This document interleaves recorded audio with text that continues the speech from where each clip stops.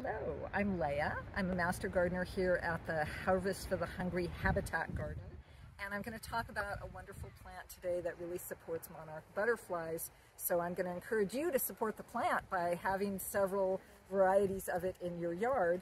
Uh, it's milkweed, Asclepias fascicularis, and we're going to look particularly at narrow leaf milkweed today, although monarch butterflies and lots of other native bees and all sorts of insects like all milkweeds. But this one's very common in California, throughout California. And we're here in late June, so it's got beautiful pink-white blossoms that are going to really support a lot of insects with nectar. So that's a really important reason to have milkweed. So let me tell you about this wonderful plant. It's narrowleaf milkweed and it's found all over California.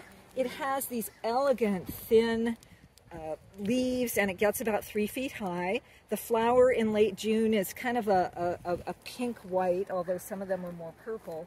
And it spreads easily, which is a great thing because the more you have in your garden, the more insects that you're going to be able to support. In the fall, it kind of gets dry and turns brown, but you want to leave the stalks up because birds like them for nest building. And then in the winter, it dies down. And in fact, you may forget where it is because there won't be a trace of it. And then in early spring, you'll see it starting to come back again, maybe in a few new places, and it, it, it, it blossoms from there. In spring and fall, you may find that milkweed draws a lot of aphids, little yellow aphids. And I made a mistake my first year and washed them off, but everybody said, no, no, don't do that because the ladybugs and other beneficial insects are now going to arrive and they're going to take care of those aphids. So milkweed draws a lot of beneficials to your garden.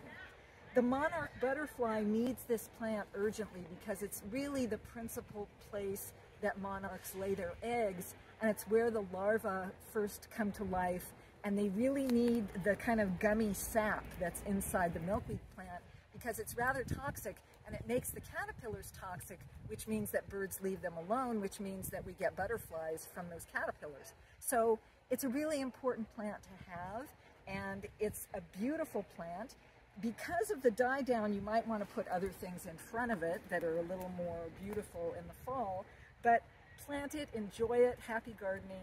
See you next time.